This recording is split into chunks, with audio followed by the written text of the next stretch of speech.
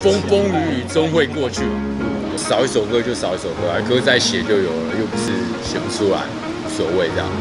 就是我也不想唱啊。哦，各位大家好，我们是兄弟本色。统一身穿卡其、军绿等色系，顽童张震岳热狗暌违六年，以兄弟本色身份推出新作，很特别啊，因为其实因为我们是真的说解散就解散，对，就是。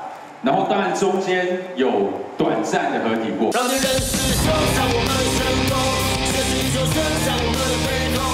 血沸腾的 New Metal 曲风是由大渊主导方向，而下个月热狗将公蛋，可能五人会合体演唱吗？都没有排任何事情，我我觉得啦，我我奢望应该会应该会被联络说要合体。对，卖个关子，热狗说歌单还在编排，只是先前新歌《楼下的房客》遭漫画家朱德庸指控抄袭，他说这首歌也不会唱了。对我来讲，我觉得是已经告一段落，因为其实这歌我已经不收了嘛，然后。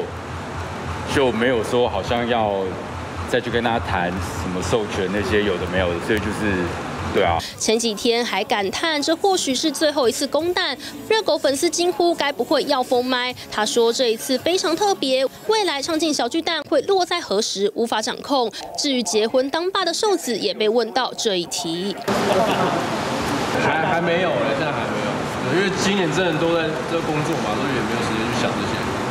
但是早晚要处理啊，早点保险。这就不是办婚礼来炸兄弟，对不对？我已经没有办法。瘦子在《披荆斩棘》第三季总决赛成团出道，对于细节不多透露。男神喜事连连，在对岸也有高人气。TVBS 新闻综合报道。